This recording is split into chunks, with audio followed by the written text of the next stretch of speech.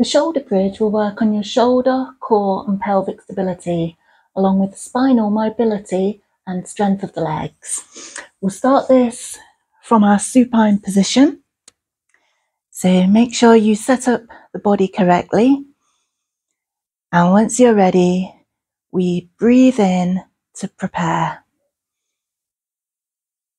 As we breathe out, we're going to tilt the pelvis, tailbone between the legs, and begin to peel the spine off the floor one vertebra at a time until we eventually end up resting on our shoulder blades. So we need to keep the gap under the chin and the spine as long as possible. We'll take a breath in here at the top. And as we exhale, start to melt down into the floor again. So pushing one vertebra at a time back down into the floor from top to bottom. And eventually undo your pelvic tilt back to the neutral position at the bottom. Breathe in again here. Breathe out, tilt the pelvis, begin to roll up.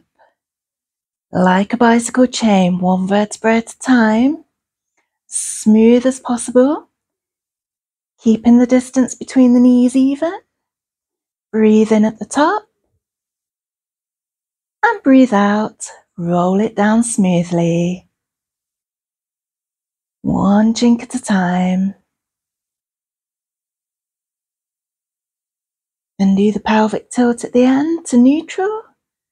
Breathe in before you start again on the breath out. And we keep this going as smoothly as possible. Really focus on keeping the gap between the knees stable. Make sure there's no rocking and rolling through the pelvis. Spirit level across the front of the hips. So remember, breath in at the top and breathe out as you roll it down. When you are at the top, just remember never to be on your neck, it's always the shoulders. If you find that you've got a stiff patch somewhere in the spine, just take a few extra moments to slow the movement down and really work on articulating through each vertebrae. So breathing out, roll it up. Always start with the pelvic tilt. Push down through the feet into the floor.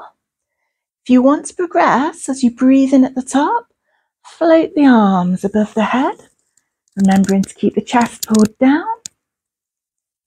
Shoulders stable. Breathe out the same rolling action, melting down into the ground. But now the arms are left above the head.